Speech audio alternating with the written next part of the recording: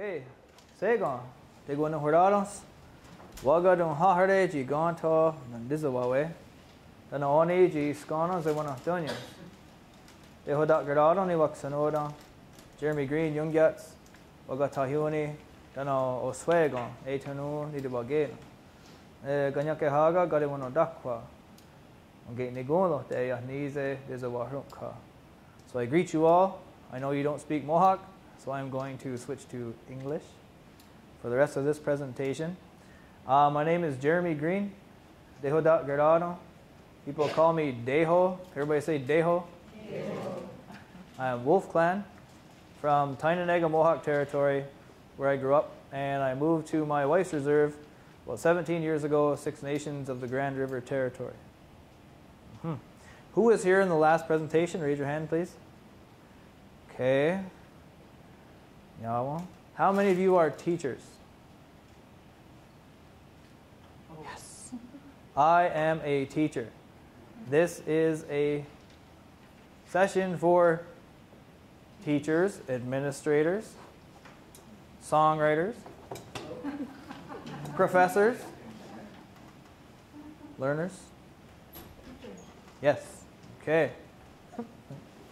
So I have to stand back here because I have to click this little button. You're all so far away. Um, the session is going to discuss feedback. I've been a teacher. My first job in 1993 was as a day camp summer student at the first ever Tyendinaga Mohawk Immersion Summer Day Camp, which ran for two months. I worked with Gardy Wahawe, Dorothy Lazore. Some of you must know Dorothy Lazore. Gardy Wahawe, yes. That was my first experience seeing how Ganyak Gehar, the Mohawk language, could be taught. And she said to me, she said, you should become a teacher after you become a speaker. And I said, How Giwahi, I'll do that. She said, All right, let's do it. And uh, over the years, I think I learned, learned more teaching than I probably taught my learners. And what I learned the most about was teaching. And teaching in Ganyangeha and teaching in my language specifically. I'm also a PhD student at the University of Hawaii at Hilo. And I had a chance to watch and observe how they teach. And when you go there, it's, it's really amazing. You hear all these kids, they're all speaking Hawaiian. Then I learned a little bit of Hawaiian. And then I started listening to the kids in the kindergarten, and they're just talking. And the grade one, and they're all talking. And I heard, ah, oh, that little boy made a mistake in his language use. That little girl made a mistake in her language use but they sound very fluent. In my own teaching, I'm listening to the kids in my class constantly make errors, make mistakes in their language that they're trying to get out. We know it's not easy. I taught a third year course in adult Mohawk immersion program. I listened again. They make all these errors in their speech. Um, I was hired to evaluate an immersion school 350 students. Um, three grade three classes, three grade four classes, et cetera, et cetera. Really big school. So I got to observe 12 classrooms. And the exact same mistakes that those children were making are the exact same mistakes that the children in my classes had been making. And I thought, ah, there's something in this. And so over the years, I started thinking, how do I give them the quote unquote right way to say something without killing their desire to use the language? If you're constantly told you're wrong, you're incorrect, you didn't say that right, generally this happens. Clams. They clam up. Nothing comes out. Um, the last person to speak in Geha in my family was my great grandfather who died when I was five. I remember him talking to me, and I learned as a second language, and I learned in a time when kids generally were seen and not heard. So I had to break that barrier down and change the way that I interacted with my elders. Where I could be that pesky little kid that said, Hey, onio to sirdo giga. Tigo. How do you say this? How do you say that? Nahora gondo tigo. What does that mean? Nahora zadon. What did you say?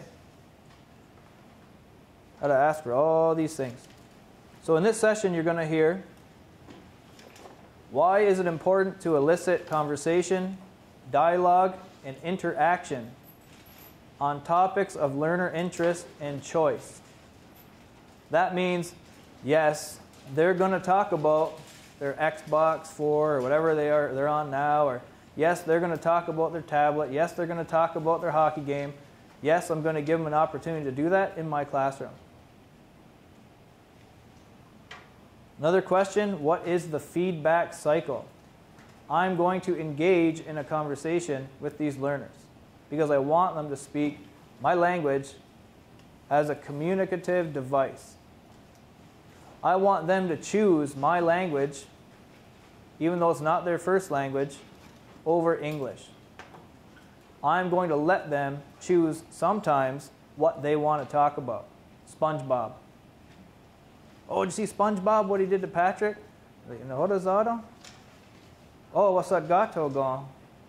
Oh, no, not saying it, SpongeBob.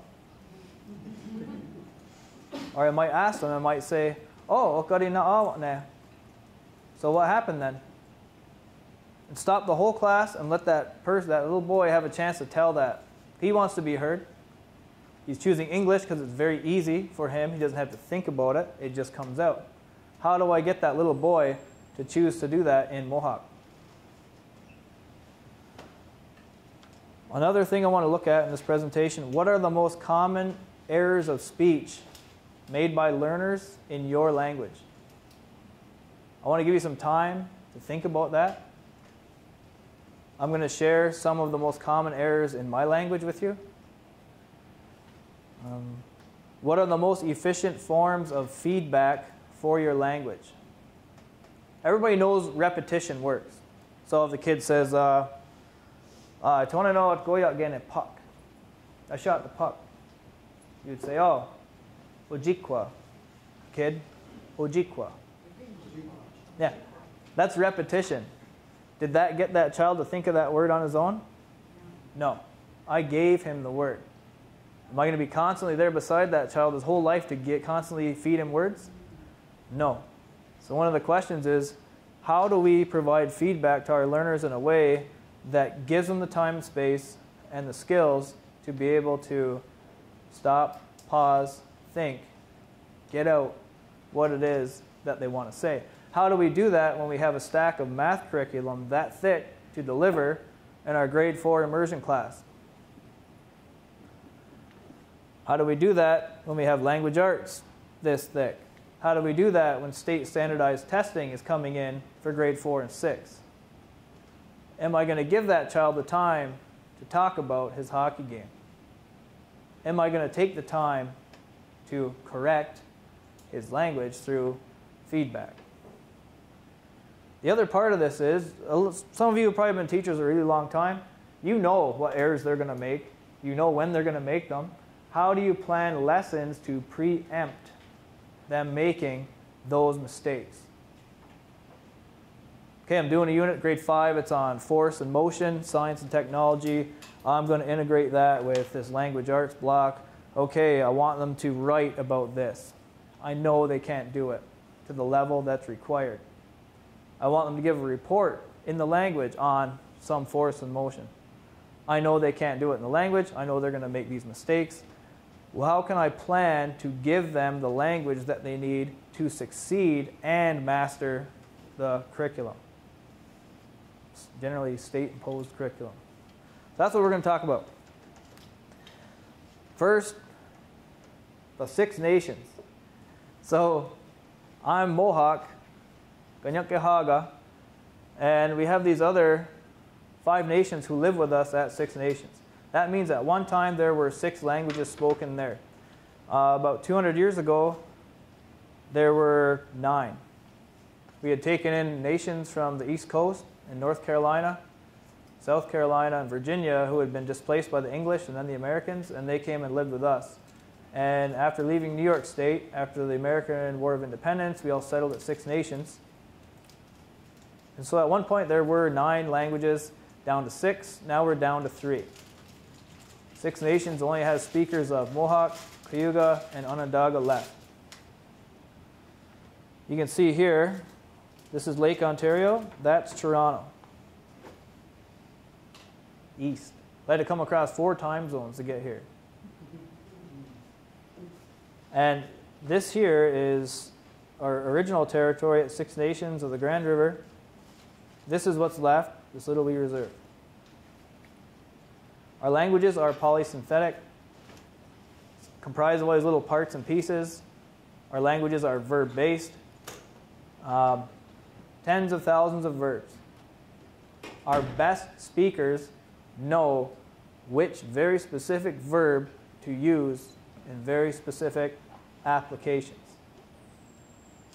How do you give that to your learners?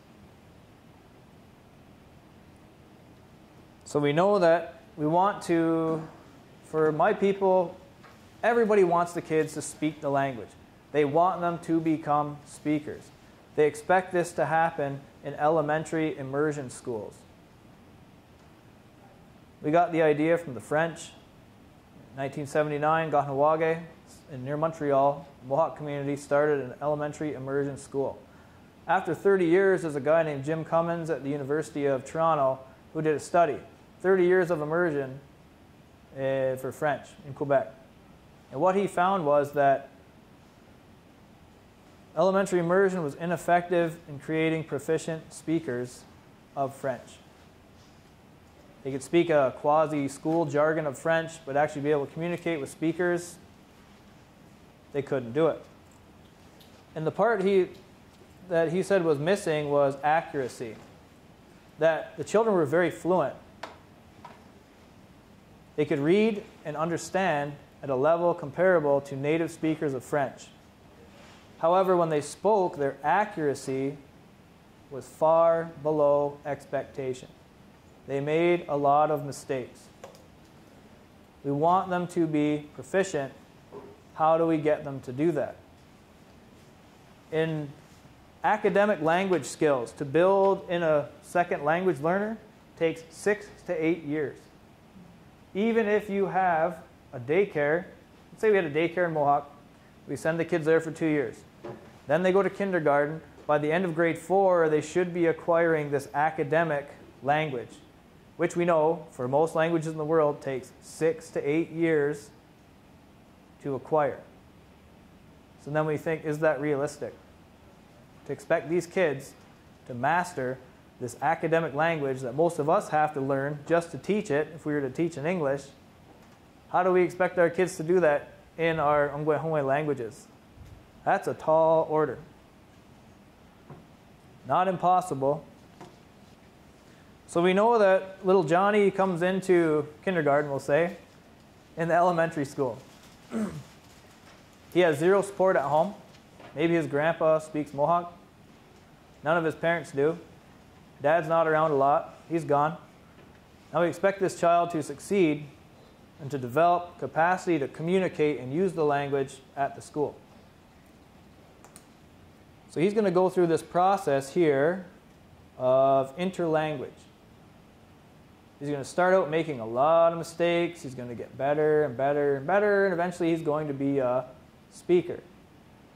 If you were in my presentation previous to this one, we kind of defined what a speaker is.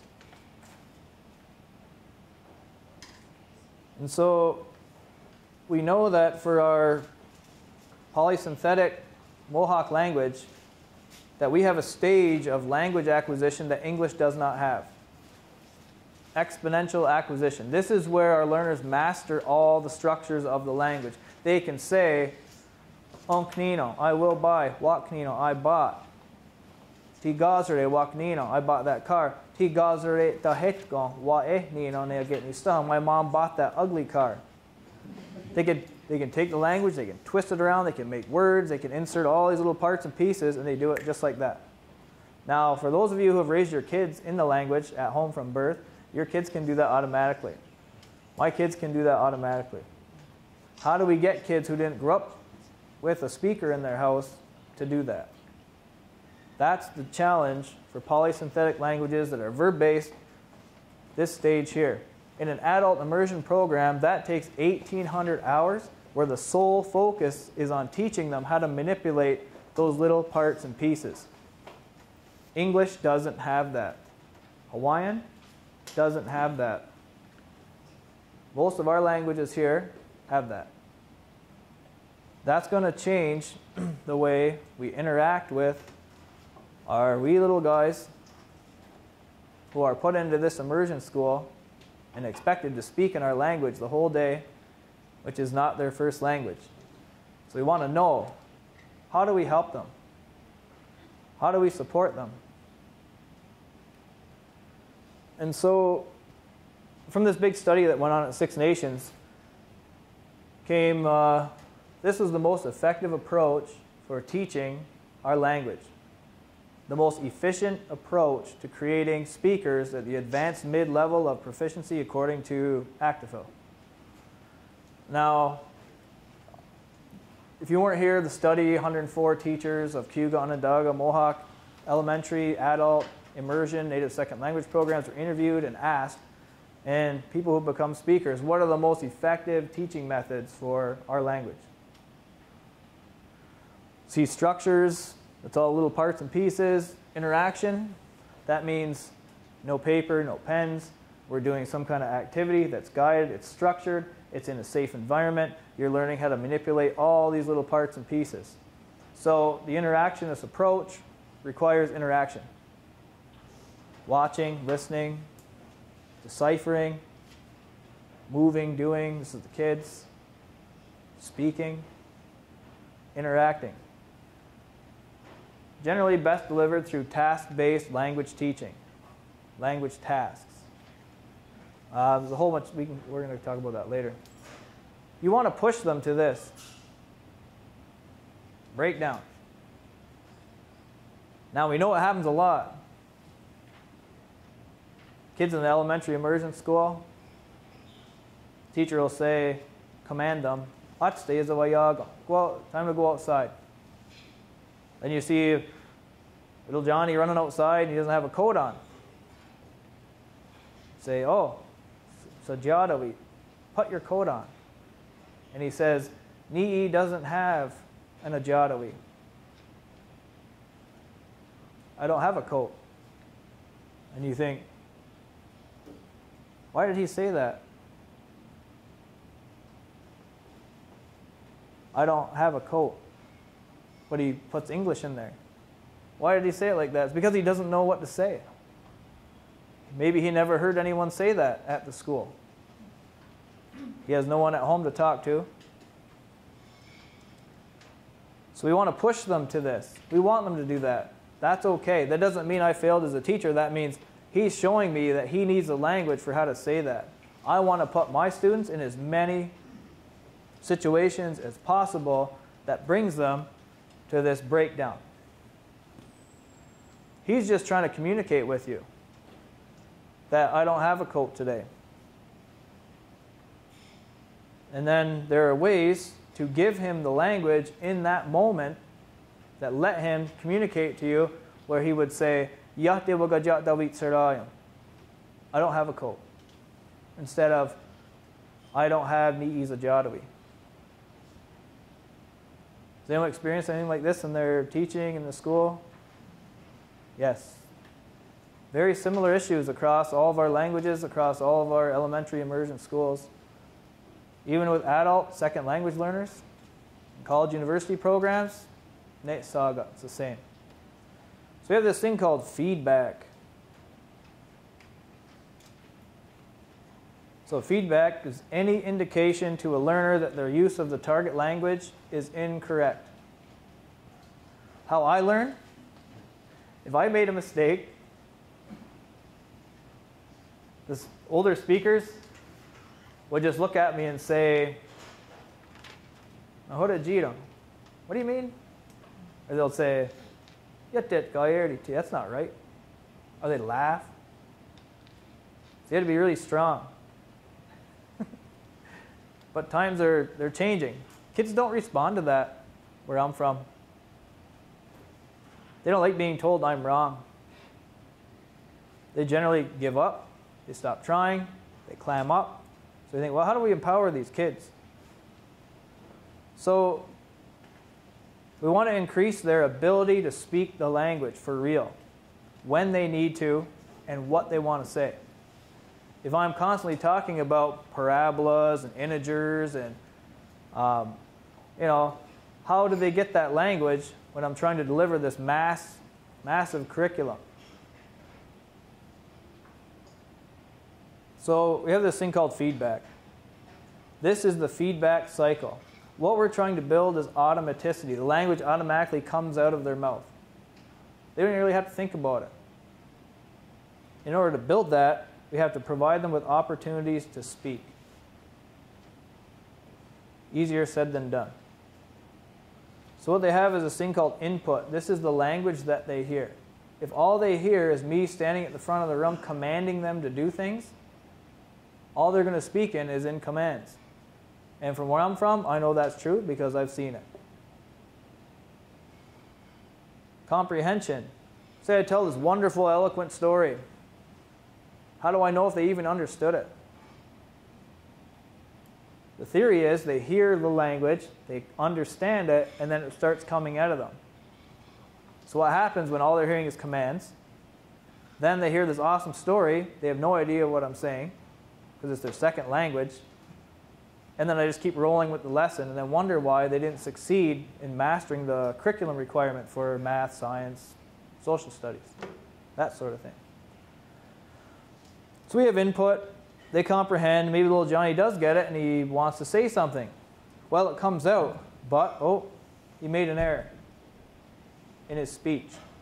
Now I'm going to decide whether or not I'm going to correct that error in that moment. And it happens this fast. That's how I'm talking now. So let's say I'm going to provide feedback. I'm going to show him in some way that what he said was incorrect.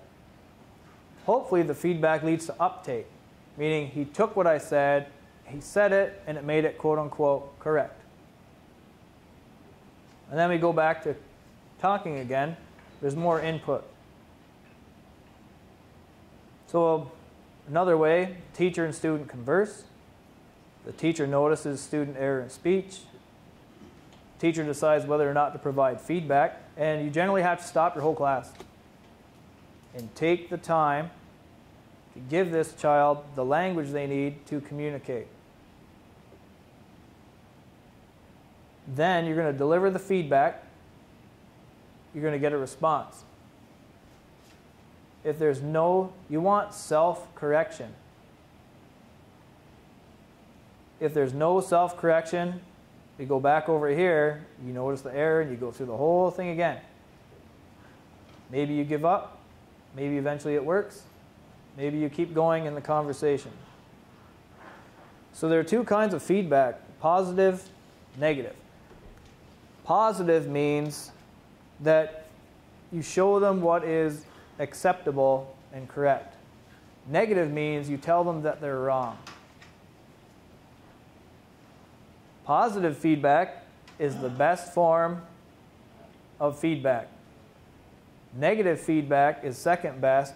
Zero feedback, or not telling them at all that they made a mistake, is the worst. Mm-hmm.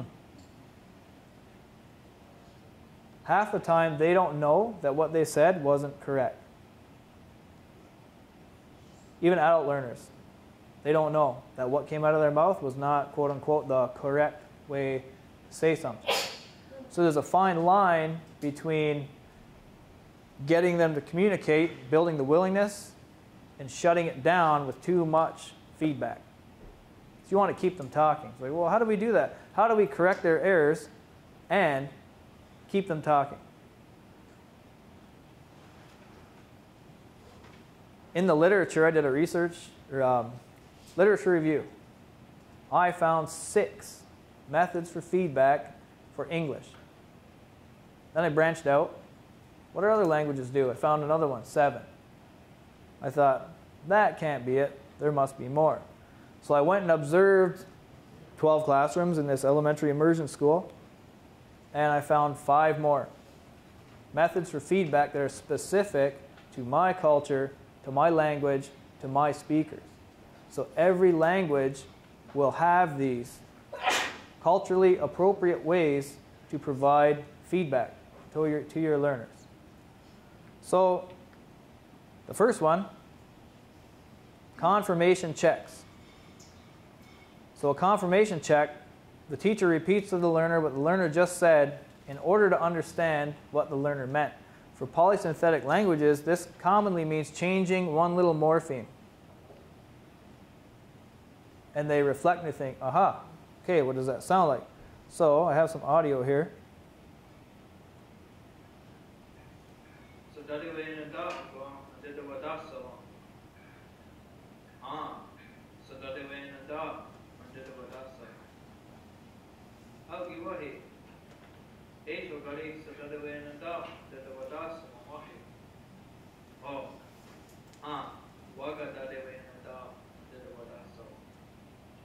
So you see, you can tell this child's been constantly spoken to in command forms because they're talking to me in command forms. They're using the you pronominal prefix all the time.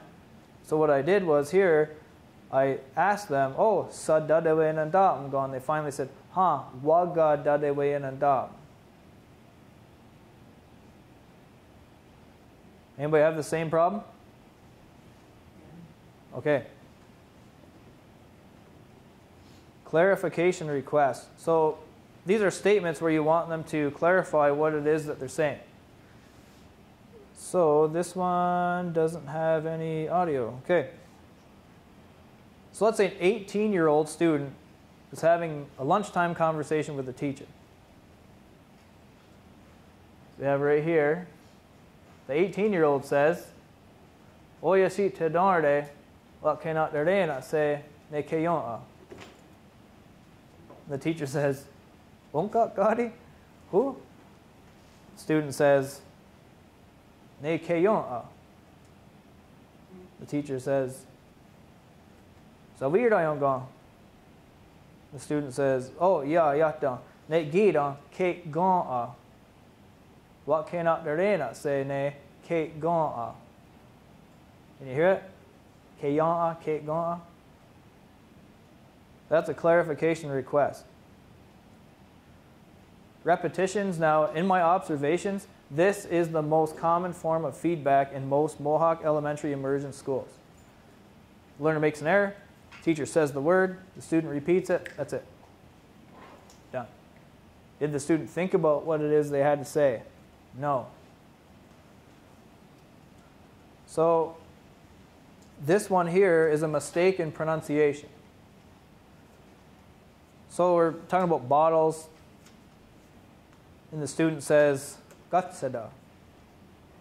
And I'm saying, Gatseda. Here, Gatsada, Gatseda. Teacher then calls on the same student a while later with the same subject. Student says, Gatseda. Teacher says, Gatseda. Yes, ma'am. Pardon? Right here? Yeah. No, in the word. Right here? Gatseda. Yeah, so the student is saying, pronouncing this wrong, they're saying gatseda instead of gatseda. Gatseda means the stress goes down and lengthen. there you go. Gatseda. Recast. So the teacher rephrases what the student said in order to get out, elicit the central meaning of what the student's trying to say. So during a break time conversation, student is telling his teacher about an outing the night before with his friends.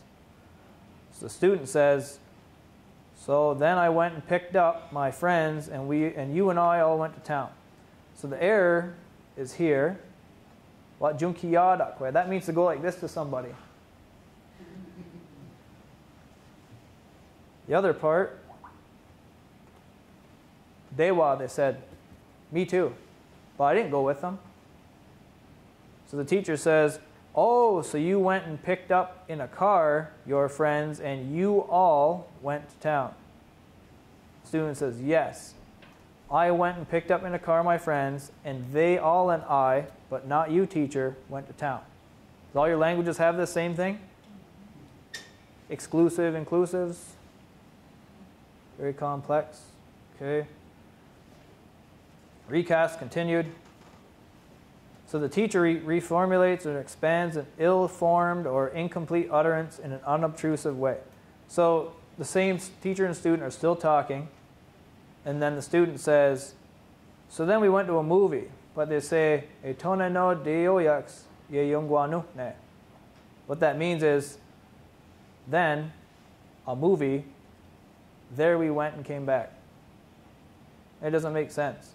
So the teacher asks them, Deoyakskan weze waderoroge. Oh, so you went and watched the movie. Then the student self corrects and says, Ha, deoyaks wa aguaderoroge. That's what we want. We want them to self correct. This is my favorite. I love this one. Silence. I do this with my kids because they go to the elementary immersion school, they come home, and they speak this quasi pidgin Mohawk that's a school language, and they'll say something, and I just go like this until they change it to the uh, Ahadi the full language. And they know what it's supposed to sound like. So, student one says, Ohnanara genues. What that means is, I like potatoes like a friend. so I just go, and the student says, Oh, nanara wa gegas. I like the taste of potatoes. And I'd say, Nioni. Sometimes I used to say, Oh, Jadorno gone. That's your friend? and they'd go, ah, Yeah, yeah, uh, wagegas, wagegas, oh, nanada. Is everybody kind of following along where I'm going with this? Okay. Facial expressions. My mother was great at this. Similar to silence, but you can raise an eyebrow. You know, the eyebrow. So this student says, Etoone ista wa irdo. Sayo don't suriza gadi. Then, mom, she said, finish up your work then. So I go like this, because that student's calling me mom. The word in red means that's what you say to your mother when you want to talk to her. You stop. So the student says, Oh, wa irdone aget nistaha. So my mother said. Does all this sound familiar? This is what you hear in your classrooms? Okay. Walkie Charles is here and he did a whole dissertation on very similar. Okay. The next one are translations. Um, these happen a lot. The fancy term is code switching. The students will use their first language to insert the names of things that they don't know how to say in our language. So this one is an example. A student is sharing with his classmates at lunch about beading a bracelet. So the student says, "We're going westkwani akjine dararang." Bracelet, what kayunyo na get Bracelet. the teacher says, Oh, ada not sanha gong wasayunyon is at nistaha. Student says, ha. Generally they say ha, ada not sanha. So you're giving them word, the word without showing a book or showing a picture, or you're just kind of giving it to them in the real time. These are the ones I added after observing what my people do, what our teachers do, and most of them were first language or native speakers, elderly teachers. No. So the learner stalls for a word. They might use the wrong verb root. They might insert English. The teacher makes a motion, movement, pantomime, something to let the learner know what verb or noun root to use for what they want to say. So we play lacrosse. It's our game. Um, our kids talk about it all the time at class in school. And so this student says, you can follow along with the English here. What get kwe ne ojikwa? E tone no ni um, mm, shoot at it. Teacher goes like this.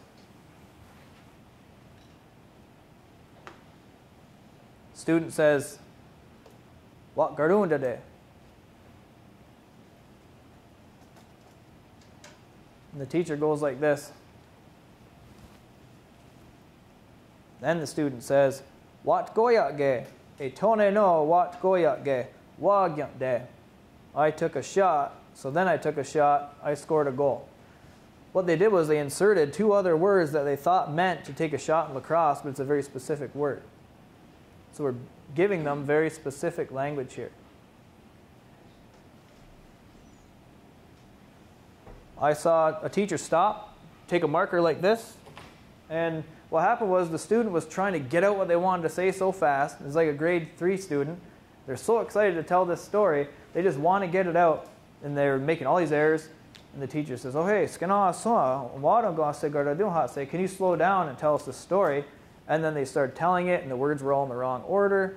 And so the teacher basically took a marker and drew a series of pictures of what the student was going to say and then paused the whole class to do this and let little Sawadis there tell his story. And he did it. And he did it right. I was amazed. And all she did was draw those pictures and give him time to think. I thought that was pretty cool. That's not in any research literature I've read so far. Prompting with phonemes. Now, these are the little sounds of the language that don't have meaning, but you need to know in order to write the language. So if they're struggling for a word, this one student said, you can follow here, no wonder go Call of Duty. Um, um, well, I know he's trying to say, did you play? Did you ever play Call of Duty? Kids ask these teachers these things all the time. And uh, so I start saying the phonemes one by one of the word. Wa, de, k, ji. Student cuts me off and says, What dek ji kwarekon? I played a video game. Then the student says, Hey Deho, no wonder going Call of Duty. What des ji kwarekon? That's what we want right there. And they take it and they put it in the whole sentence and they ask me the question again because they want to talk to me. Because I'm a real person like them. want to talk about things they want to talk about. We can also prompt with morphemes. Now this one, I gave them the verb root. We have tens of thousands of verb roots. And so the student, same thing. No wonder going Call of Duty. Um, um, did you ever Call of Duty? The teacher says, Otgani. Otgani. The student says, Wasat Gani. No wonder going Call of Duty, Wasat Gani. Did you ever finish Call of Duty? So you can see I gave them the root right here, and they added the other pieces, the you and the did. And I gave them the time to do that. The other one is storytelling. This one's really good if they make a mistake or they don't know a word for something very specific to your culture. So you might say, oh, okay, and then okay, what happened then? Yeah, okay. And oh, Yoni, what guard? I have a story too.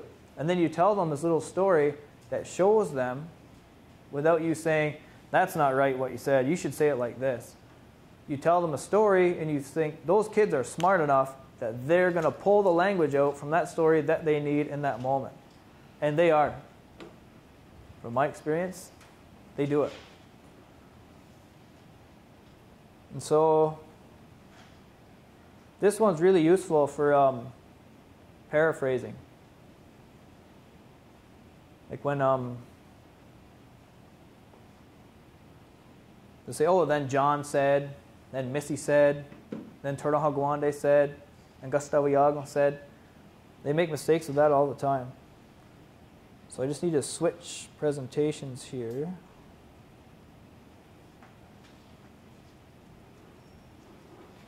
Now, I hope to get finished through this in the next 15 minutes. I wanted to take some questions, but I wanted to give you time to sit and think. What mistakes do learners make in my classroom?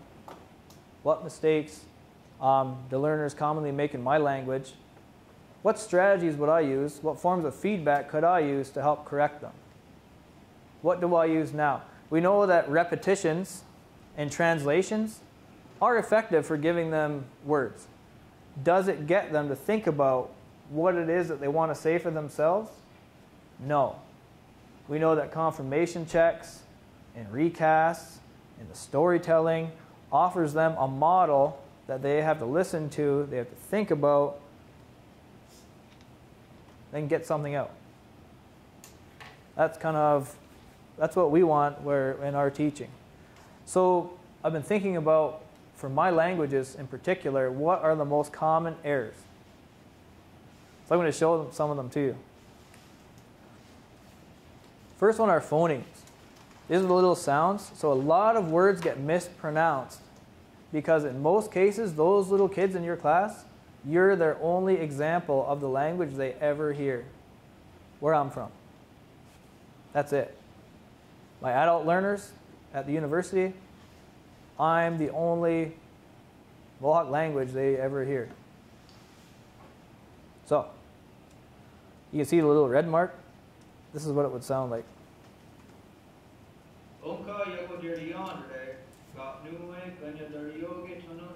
Joseph Grant.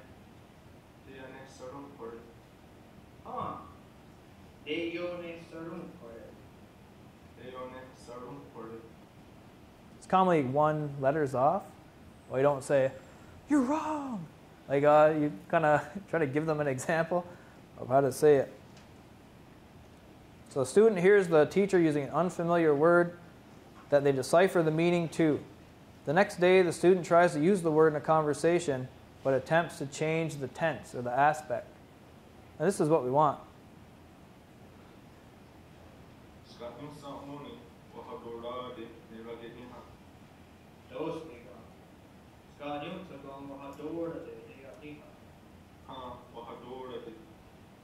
So you can see they put the, they said it with the proper accent, pronunciation. Now, this is generally the biggest class of mistakes for Mohawk because English doesn't have that. This, this is the most distant structure of our language that English does not have. All these little parts and pieces that have meaning. That if you change one little piece, changes the meaning of the whole word. This is what most of the feedback in my class is directed at with my learners. Morphemes, morphology. So we have an example here. You can see the red, that's where they make the errors. So we'll have a listen.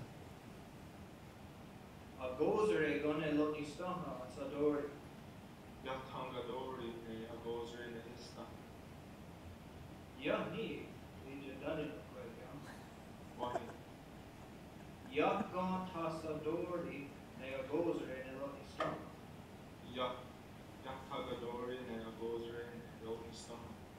You see the error?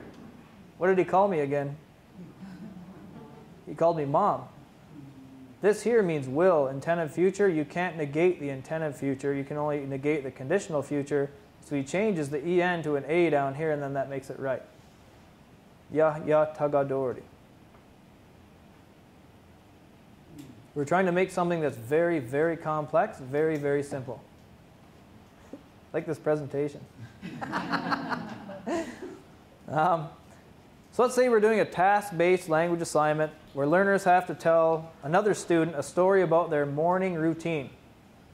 Like, how do you get ready in the morning? So what he's converts with John. So John is talking to George.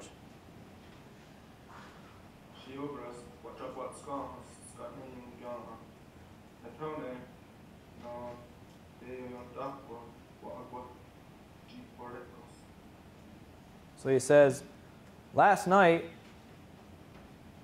my parents and I went out to eat. And then we went to the arcade. But the error is they added this S, which is a habitual aspectival ending, which is wrong.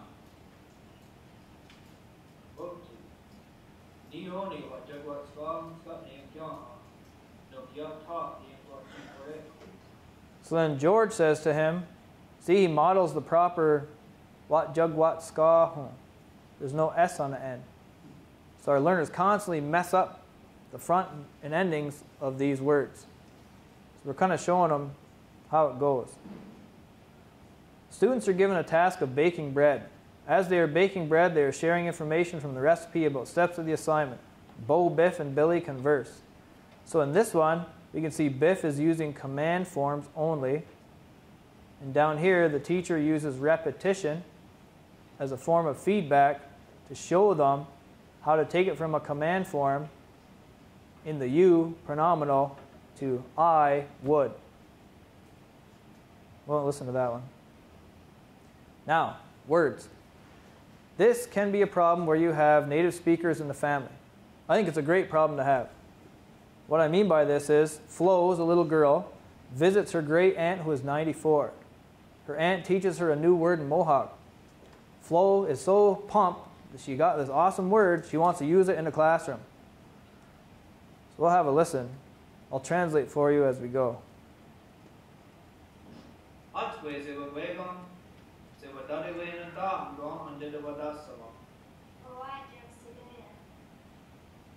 All right, everybody, are you ready to get started? Flo says, wait, wait a little bit.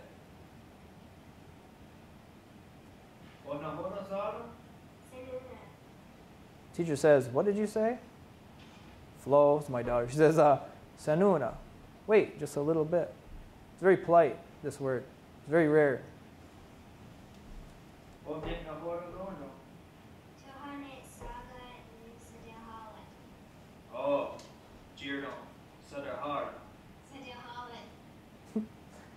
So then the teacher says, Well, what does that mean? This is where your teacher doesn't know how native speakers say things sometimes. Flo says it's almost the same as wait, impolite.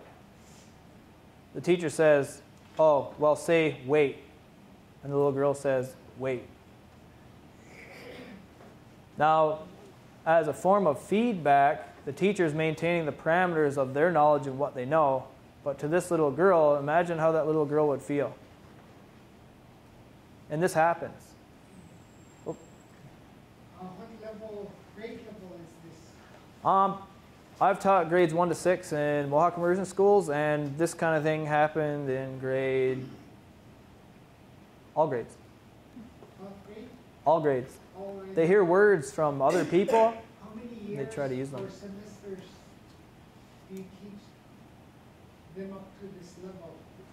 Um, everybody I interact with constantly who's a learner. If I see them in the community, if I see them, I use this process of feedback because I'm putting this teacher role. Or, um, and I know like my elders, my mentors would do this for me. They do it in different ways. But this feedback goes outside of the classroom. It brings the language to life. Um, it enlivens all conversations. If you think about if English is your first language, or even uh, Ungwe language is your first language, you'll remember back that you were, people always corrected you when you were little. So it's the same thing, but it, we're trying to do it in different ways now. Right, so you would use this anywhere, at any time, with anyone. So, this one here, now, okay, so this one here would be about a grade 5 or 6. They've been in the elementary immersion school for a few years. They can say quite a lot of things. And so they're talking about their personal interests. And this one guy, he's talking about it. So he says,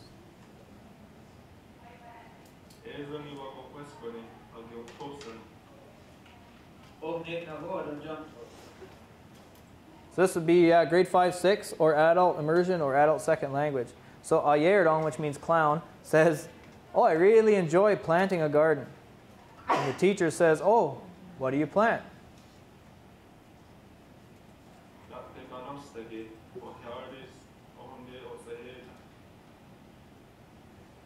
All kinds of corn, mushmelon, green, bean.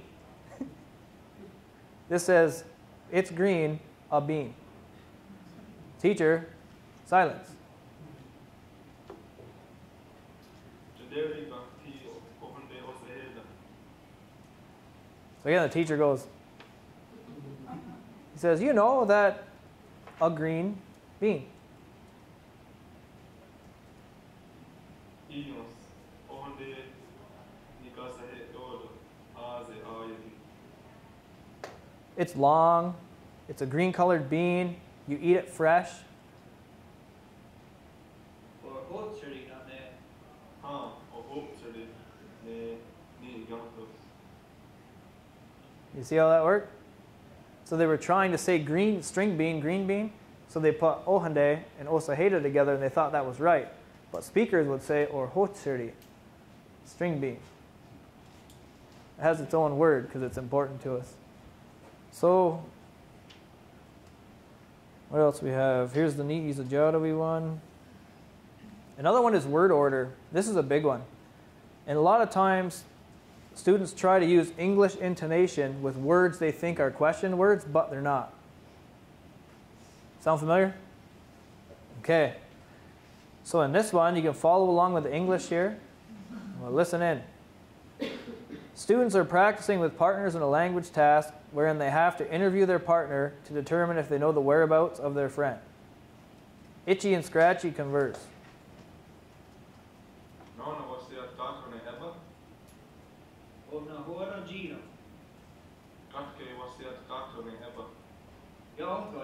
Got. So the noana is not a question word. Gutke means when. We don't have intonation like in English. Maybe your languages don't either. So you have used words to indicate a question. Because of the English influence, Ichi wants to say noana. But noana is just when, it's not a question. But he's self-correct after I said, Nahora Jidong, what do you mean? So that's a clarification request that I used to elicit feedback. Ah, this is a good one. Listing things. This is a novice level skill that most kids can do in kindergarten. Most adult language learners can do in the first few classes. If you give them word lists or something. So we'll have a listen.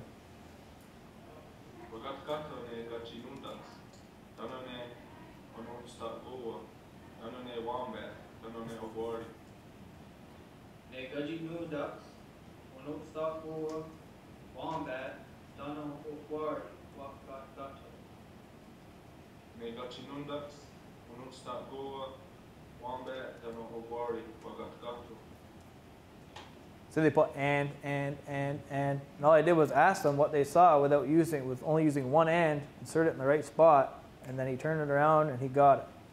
So instead of me making a huge grammar lesson and going to search for a book and typing up a great big long grammar exercise written down and covering it in class time, all I did was take two seconds to repeat back to the learner what it is that they were trying to say in an appropriate way, and then they got it just like that. So forever now, that learner will know if I'm going to list things, I just list them all, and I can put and in there at a certain spot. Mm. This one here has to do with word usage. Is anyone finding this useful? Kind of. So as we're going through these, I want you to think about your own language and think: Does does my language have that? Do the students make those errors? How would I correct that? Culturally, uh, in, a, in a culturally appropriate way. or as a student, how would I want to be corrected? Would you want to be told, that's wrong because the nominalizer and the coincidentalizer and the translocative aspectival suffix isn't the same as that? You do that to a grade six kid, they're just like, you do that to an adult emergent student, they're just like, this avoids all of that. You put the wrong aspectival prefix suffix combination together with that verb root and you didn't use the semi reflexive. Did that, did that keep going in the language? No. You squashed it. Totally. So this one here has to word, do with word usage. So you can follow the English here. Nagwata vagatsto gatke. Ah, ne doske. One on the got target. Ha There's a very specific word for wearing shoes or having shoes on. Dewaga Dario. Most students don't know it. Most second language learners don't know it. So they'll say Naguata Wagatsto. If we want to teach them the specific word, we just kind of give it to them here in a sentence. And they get it right away. There's no English, there's no lengthy grammar explanation. It's just feedback. We stayed in the language. This next one is context. Uh, we already did this example in the last presentation, but two students meet up in the hallway before class starts. Seguro. Se clase. One no horo, very one other. Ja, se Very informal, very slangy. These are people who know each other, young people. Now, let's say a young person meets an older person who they don't know all that well. They would not talk like this to that older person. They would be a lot more formal, and they would say this.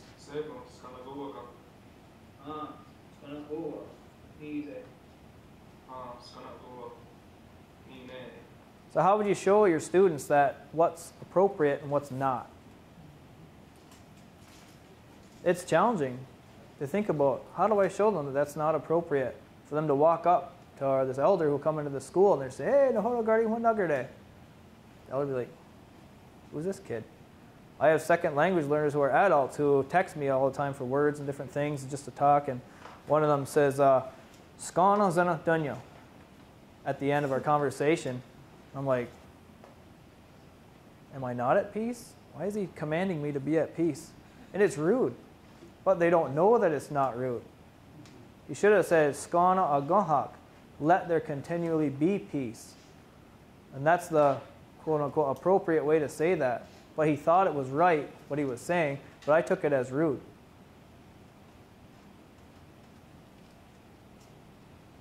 Ah, this is a really good one. Someone's uncle passed away. Leah, the one whose uncle has passed away, is consoled by her friend. So she says this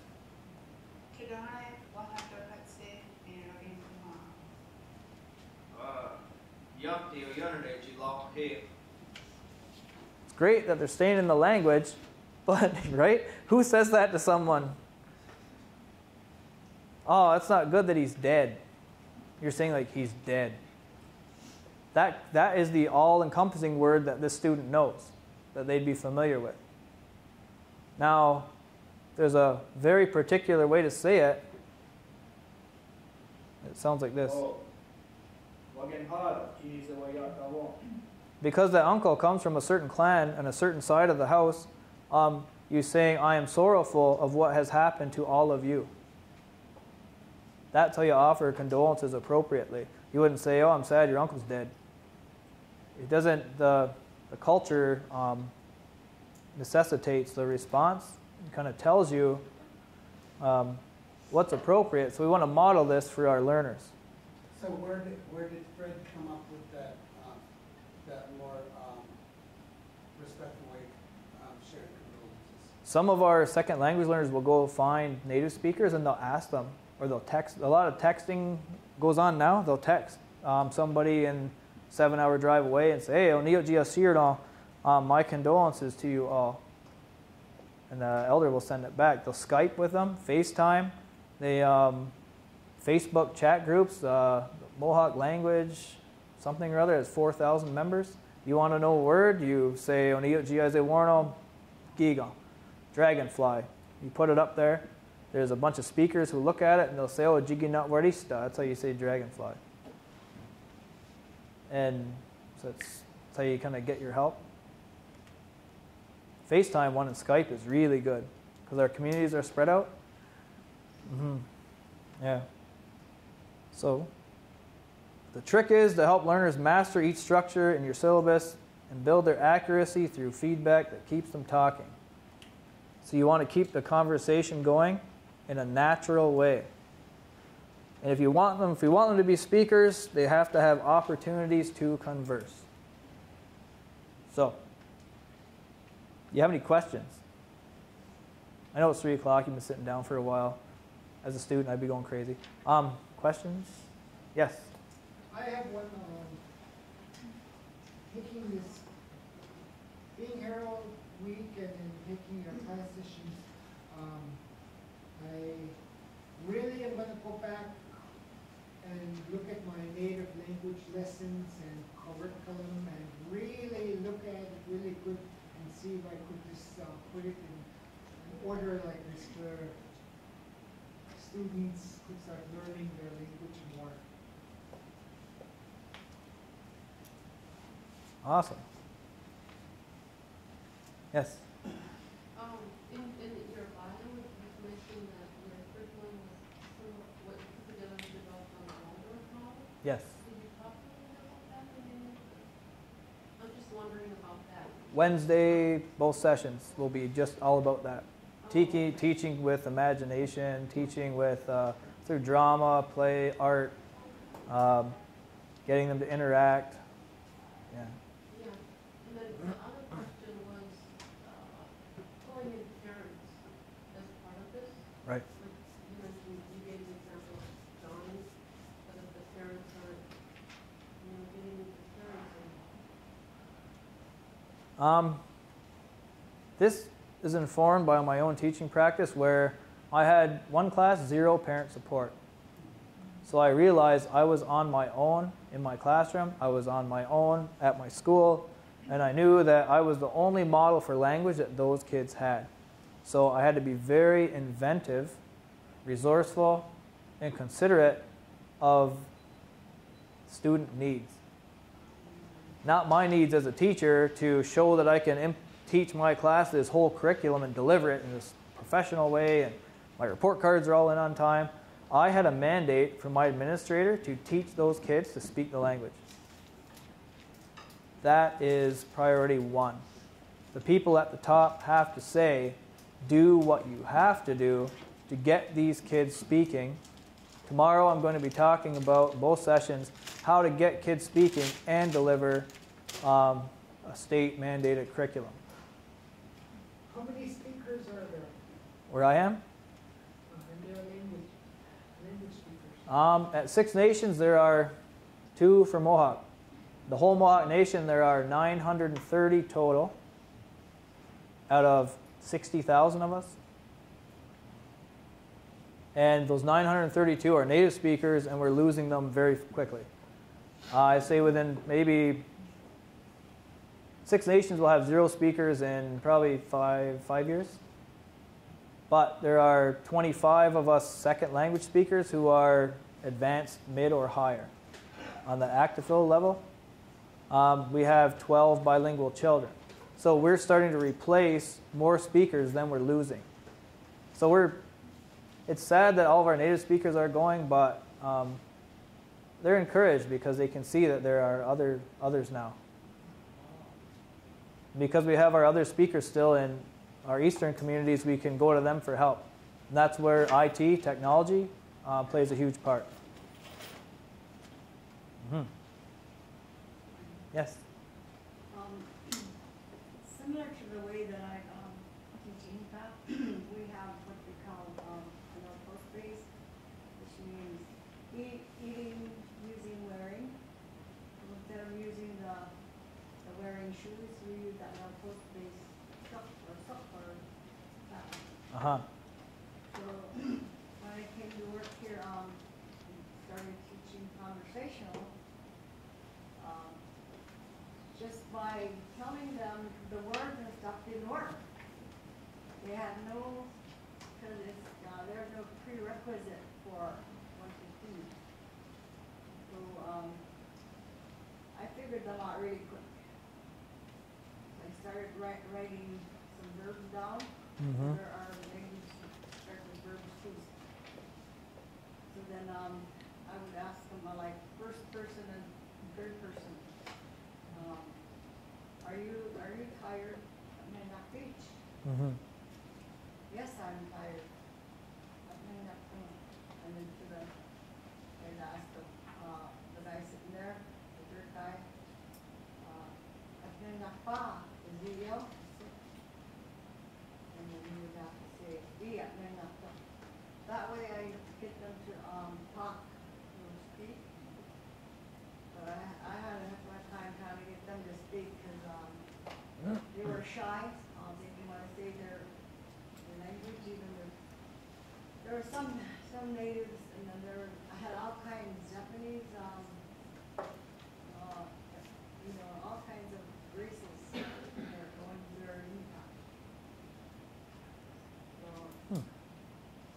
we had fun, um, especially one guy, um, I would give him homework, tell him what you learned, um, give me a, a phrase. And every time we go to class the same, I would say, um, the caribou scalping.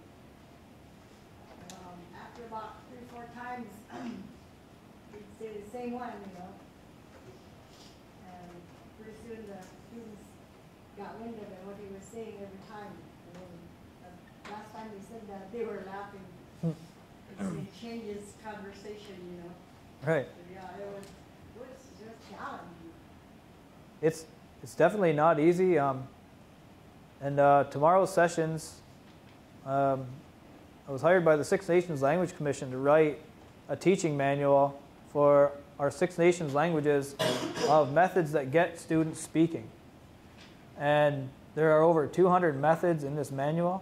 There's a seven stage approach that kind of ties it all together.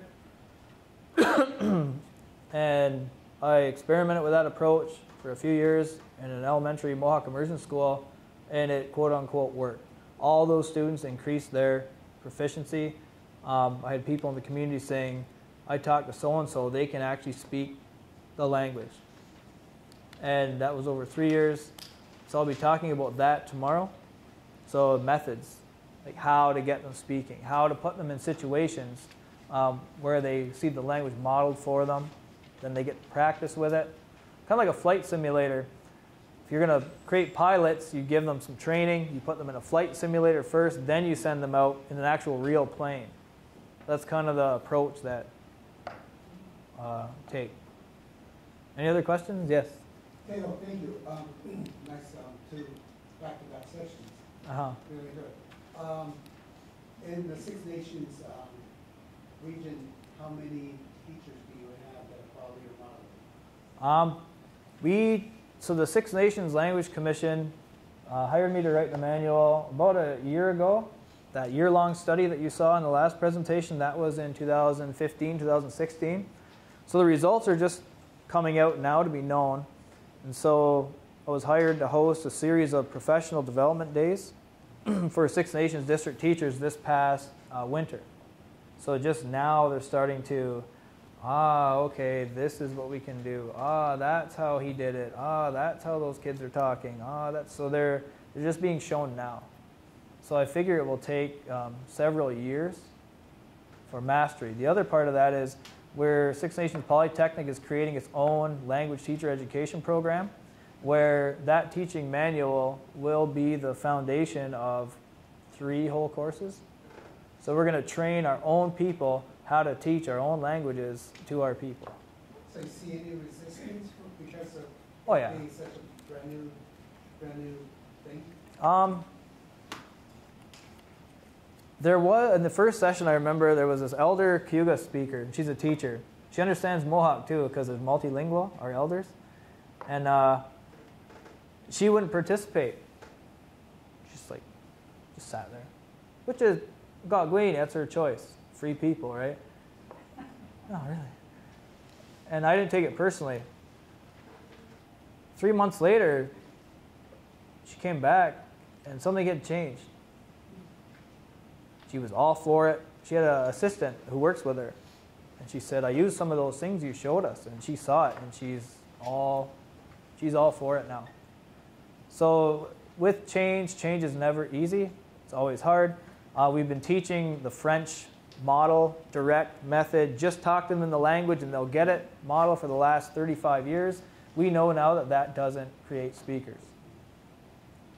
Does not work for us. So, do you work with parents? Um, I tried. I I had a parent night under the Waldorf model. You have a parent night once a month where they would come in. Um, I would get maybe 40, 50% participation. People, they didn't choose the language to be their lifestyle, but they chose the language for their children. and they put it on me to give it to them. yes. Um, I was just curious, um, are any of the children, uh, like in the eastern region, are they coming, uh, from, uh, French as their first language at all? Or are all the children English as their first? It's all English. Some Mohawk, very rare. It's really awesome when you get a native speaking child in your class. Awesome. hmm Do you have a website or anything like that with this in some situation? Um, they're working on it right now. Like that meth, teaching manual, I just submitted it last week. So you were all emailed a copy of it. so whoever comes tomorrow, you should probably, um, I would suggest pulling that up. Because I want to talk, I don't like talking all the time. I wanted to um, explain it a little bit and then give you time to get in your language groups and work with it right there. Think, could we use this to plan lessons? Could we use this to plan units? Could we, wow, look at, for speak, for speaking, he has 40 different activities you can do. So are you sharing the information? I can share this, yes. Um, Do you know email addresses or? I can save it as a PDF and email it to, what are their names? yes, and they can put it out to everyone. So, yes. Where do you find time to just nicely write out all your lessons because you're teaching students also, there's no time. Summertime. If your administrator is slick and they can tell you in May, the end of May generally, you will have grades such and such in September, then I had time to plan. So I would use my summer to plan. And then my evenings, my weekends, my holidays through the year when I needed to catch up. well, you know, your teachers, you know how it goes. You could spend your whole 24 hours planning and not sleep. So I use my own time outside of school. Because I love my language, I love the kids. So. Yeah. Um, you think about, I have some questions up here. I'm not sure what languages you speak.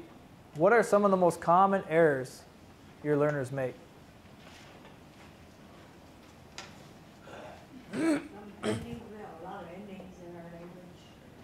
You know, um, big endings, like we have, uh, first person, second person, and third person endings. So they'll mix those up. And then, Ah. got umpteen hundred endings. Uh-huh. Are there patterns for them? Pardon? Are there patterns for them that they Yeah, could? there- There's a, there's a diagram for it. Oh, in, in the grammar book, in the grammar book. okay. Thank you. Yes. Um, with Tlingit students in elementary school, they can understand a lot of what we've taught them, especially in the second grade group, because I've had them since kindergarten. I only have them for thirty to forty-five minutes, four days a week. Um, but one of the common mistakes I see is when they're predicting to say something in Tlingit, like something I've never taught them to say, they'll use English grammar structure and that's just one of the biggest things I've noticed. What would be your suggestion for remedying that? Being preemptive and saying, okay, I know they're going to do that, so how can I, what methods can I use to preempt? Well, uh, as part of my literacy lesson, I will put those patterns up there and leave a blank line and elicit them, elicit responses from them on what would, what would make sense here. Or just doing it, yeah. just telling them, this is, this is how we, this is the pattern. Once I see that, they're ready for that. I don't just say, this is the pattern. It's more organic where someone will ask me a question or I'll hear a mistake and then I'll just say, oh, hey, it's like this, and then that kid will tell other kids, and the next thing you know, they all know it. Mm-hmm. Cool.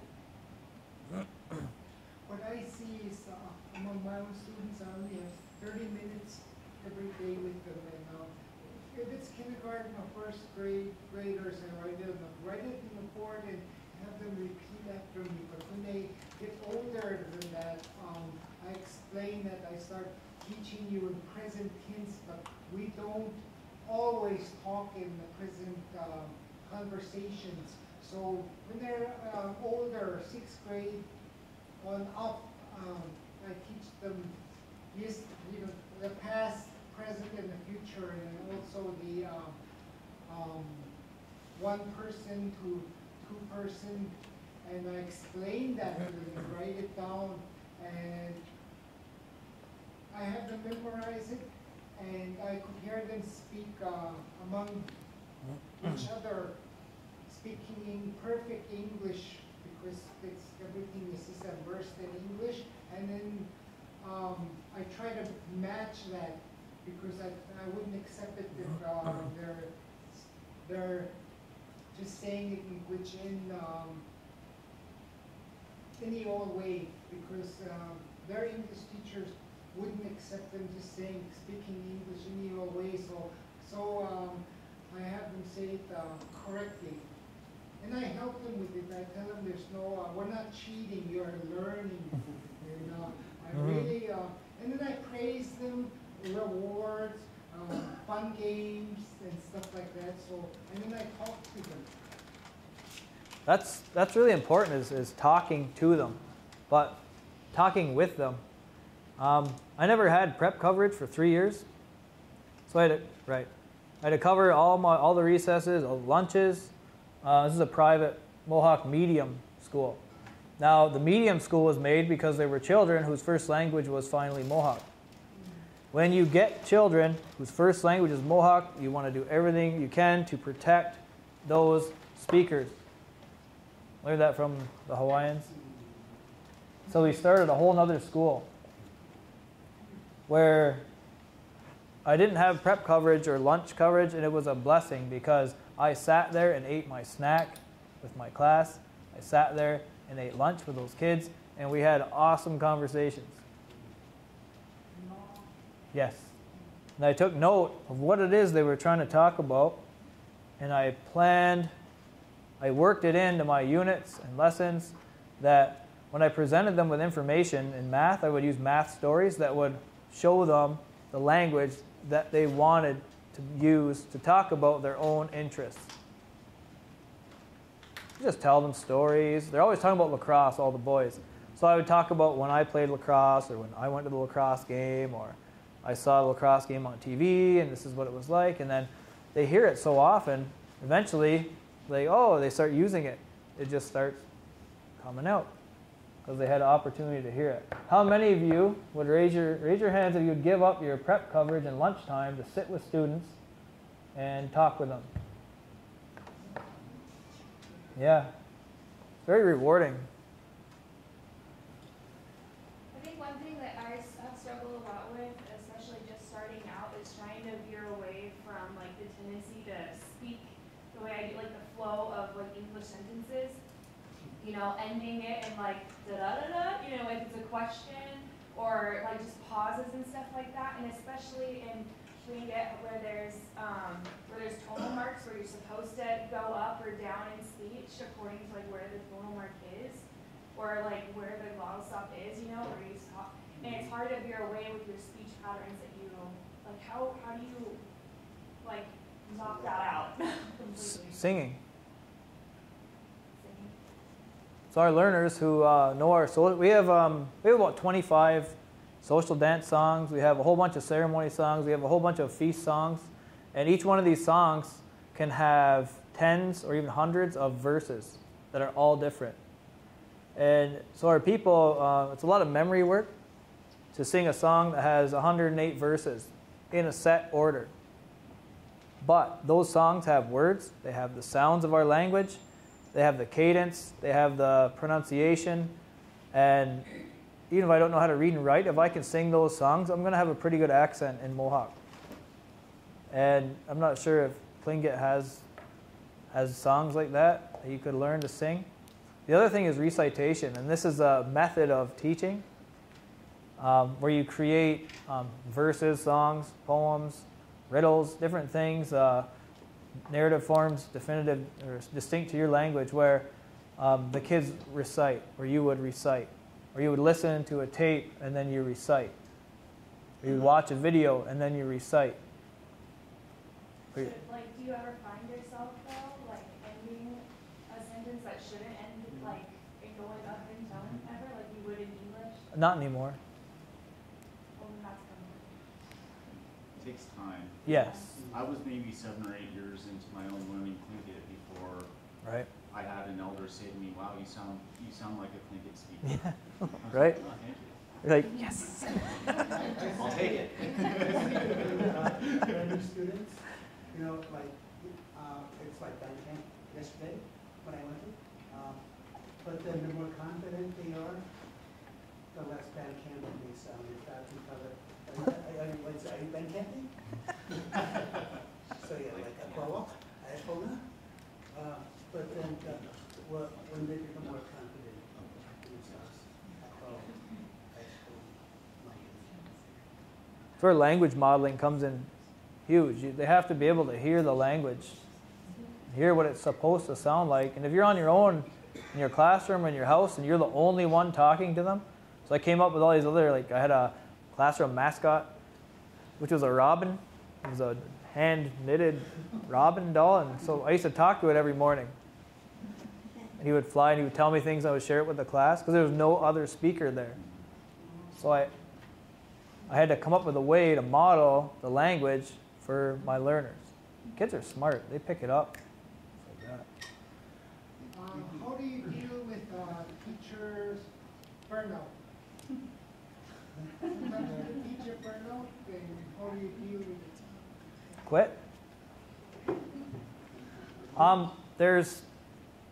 This is where your administration has to come in for support of your school, where they're going to say, okay, the community is saying we want our kids to speak the language. Principal takes it to the board. We want to change our mandate of our school. We want the kids to speak the language. Okay, what do you need? Well, we need help. Who can help you? The Hawaiians. Okay, what are they doing? They're doing this. Okay, let's do that. Mohawks, what are they doing? They're doing this. Tlingits, what are they doing? They're doing this. Okay, so let's make our own. What do we want? What do we need? Boom, done. Teachers, we need um, to be teaching differently. We need um, rotation. We need um, prep time. We need uh, PD days on this. We need, you know, you have to plan for it, and it just it won't happen overnight. Um, yeah, teacher burnout definitely happens. That's like your own personal self care too. Cut wood for a few hours.